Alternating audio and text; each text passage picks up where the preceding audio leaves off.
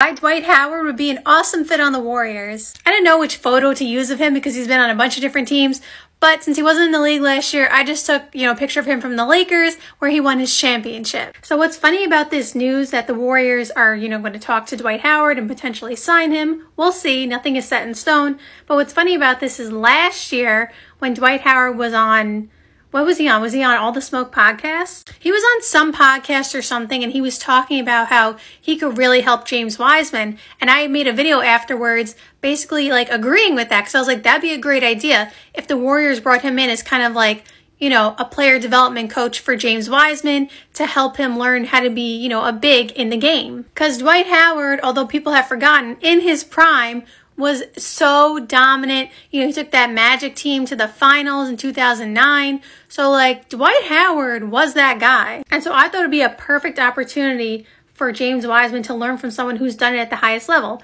Regardless, they didn't bring him in, but now it's just ironic, full circle, that the Warriors are thinking about signing him. I think Dwight Howard would be the perfect fit on the Warriors because he basically would have that JaVale McGee role. And he's already done it because he had that role in the Lakers. He probably had a little bit of a bigger role in the Lakers, and it obviously wasn't exactly what JaVale McGee did on the Warriors, but it would be like a similar thing basically. He would be there to be a big body, to rebound, to block shots, to keep people out of the paint, and get under opponent's skin and just play some good defense. And Dwight seems to keep himself in good shape. Like, despite the fact that he's had injuries and he is obviously older, he doesn't show his age much when he plays. And I know again, he didn't play last year, but I'm just saying like even when he was on the Lakers and he was on that championship team, he was technically still older. And of course, like he wasn't playing the role he was playing when he was on the Magic, but it didn't seem to like affect him. Like he still seemed just as effective. So I feel like this would be one of the perfect players to sign because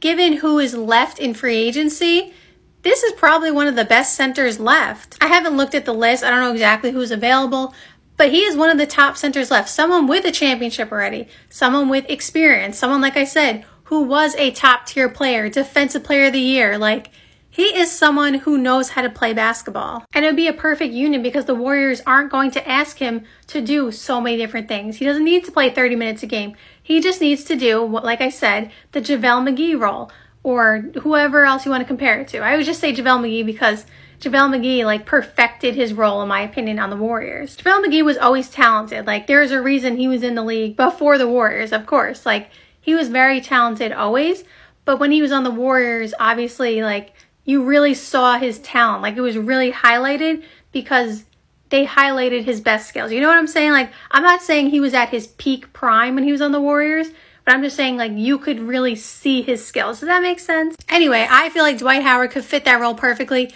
We know that one of his best attributes is defense, is rebounding, is blocking shots.